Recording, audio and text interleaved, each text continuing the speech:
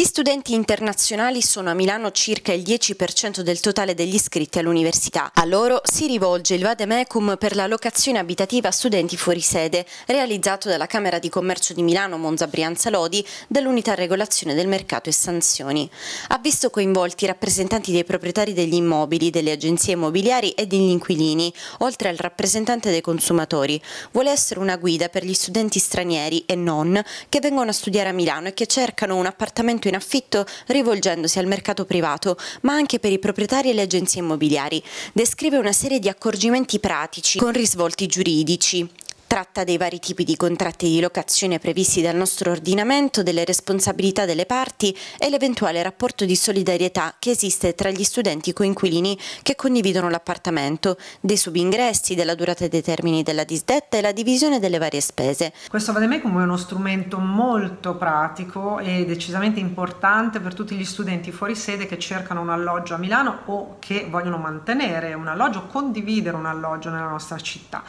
eh, il tema abitativo è centrale, eh, l'attenzione allo studentato straniero ma comunque in generale fuori sede è sempre stata dedicata dalla Camera di Commercio tant'è che il protocollo Stadi in Milano risale al 2014 e mh, con il 2019 è stato anche ampliato tutta una serie di attori come eh, Milano in Partners, Yes Milano, quindi Comune di Milano, ATS, Questura, Prefettura, l'Agenzia delle Entrate, otto università e sette istituti di alta formazione. Bisogna uh, rilevare che uh, a Milano uh, sono state registrate circa 2500 risposte grazie a un, a un sondaggio che ha fatto la nostra Camera di Commercio all'inizio del 2021 e queste risposte corrispondono circa al 10% di tutti gli studenti internazionali che sono iscritti sul nostro territorio